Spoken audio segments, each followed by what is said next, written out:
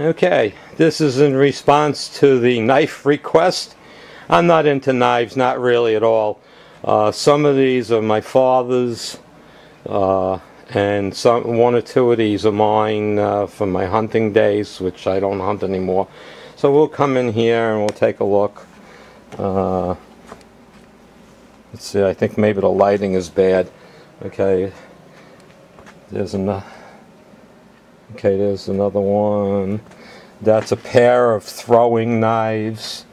I think those are the first knives I ever bought.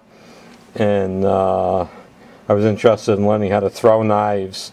And uh, that's, uh, I, I, can't believe I still have those.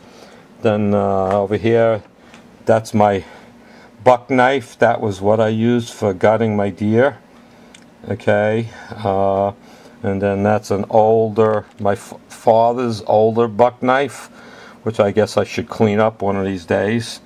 Uh, and I don't know why I even have this, but uh, this is another knife. I probably bought this somewhere when I was hunting or got it for free, because I don't normally, you know, hunt with something like that. I never found a need for a knife that big for hunting, but there's that.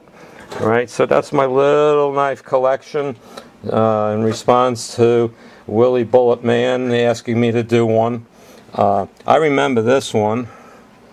Okay, this was nice. The top is got. It's hard to get this to show. There it is. It has a serrated edge on the top, so that did some cutting damage when you pushed it in and pulled it out. Uh, none of these seem to have a blood groove though. So, but that's it. That's my little collection of knives and uh, that's the best I can do for you.